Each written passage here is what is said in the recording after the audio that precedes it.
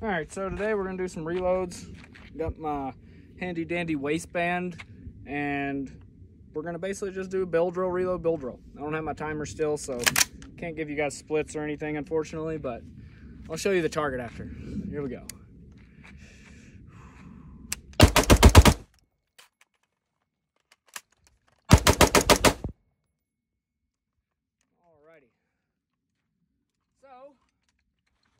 Wasn't terrible. Wasn't great, but wasn't terrible. We're trying to get mostly alphas. It looks like we only dropped two. Yeah, I'll take that.